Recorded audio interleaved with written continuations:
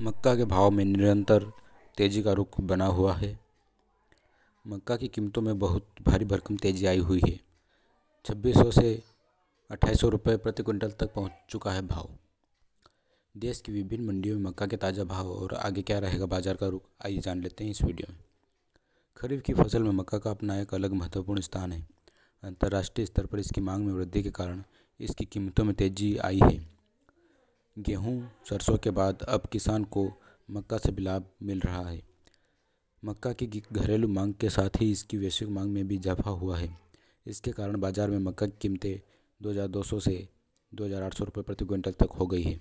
अधिकांश मंडियों में इसकी कीमत दो हज़ार रुपये प्रति क्विंटल तो चल ही रही है, जबकि मक्का का न्यूनतम समर्थन मूल्य उन्नीस सौ साठ बासठ रुपये प्रति क्विंटल है। मक्का के भाव बढ़ने से किसान खुश हैं मक्का की बुआई जिन्होंने की है, वो खरीफ की फ़सल में मक्का को बोते हैं। लेकिन जहाँ सिंचाई के पर्याप्त साधन हैं, वहाँ रबी और खरीफ की अगेती फ़सल के रूप में इसकी खेती की जा रही है। मक्का की कीमत बढ़ने का प्रमुख कारण तो यही बताया जा रहा है कि मीडिया रिपोर्ट्स के मुताबिक चीन, यूरोप, यूक्रेन और अमेरिका सहित दुनिया में मक्का का उत्पादन दो दशमलव नौ फ़ीसदी घटा है। यानी कि विदेश में उत्पादन कम हो चुका है मक्का का। इसी के साथ भारत में भी दो हज़ार बाईस तेईस में इसका उत्पादन घटने के आसार हैं। इससे मक्का भाव में तेज़ी आई है। बता दें कि पिछले साल मक्का एम से भी एम से भी कम दामों में बाज़ार में बिका था।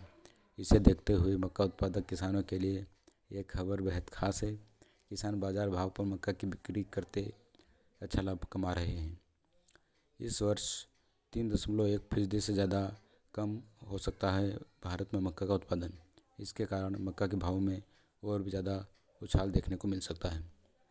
इस वक्त देश की विभिन्न मंडियों में बहुत शानदार भाव चल रहे हैं। जैसे कि महाराष्ट्र के पुणे में दो हज़ार आठ सौ, उत्तर प्रदेश की कई मंडियों में दो हज़ार से ऊपर, मध्य प्रदेश की भी कई मंडियों में दो हज़ार से ऊपर, यानी ओवरऑल हर राज्य में दो हज़ार से ऊपर भाव चल रहे हैं।